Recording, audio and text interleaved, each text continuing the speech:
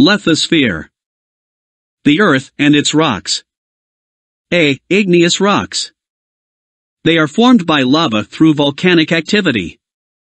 Magma is released from the mantle. Magma rises towards the surface. The magma cools down to form sedimentary rocks e.g. granite, diorite. B. Sedimentary rocks. These are made up of sediments. Sediments are small particles which are broken from different rocks. After breaking, they reach the seabed e.g. sandstone, flint. C. Metamorphic rocks. These rocks are formed in the Earth's crust, which also change their shapes.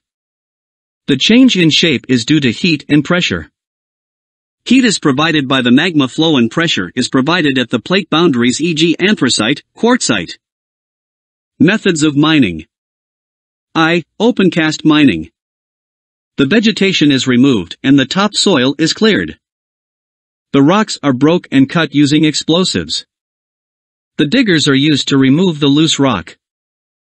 The rocks are carried in trucks slash railway wagons. 2. Underground mining slash deep mining slash shaft mining. Sinking the vertical shaft down to the rocks containing minerals. Horizontal tunnels are dug down to the mineral layers. The loose rock is brought from the mines and piled up on the surface. The minerals are then transported away. Some uses of different rocks. Chalk, used in manufacturing of cement. Gravel, used for making concrete.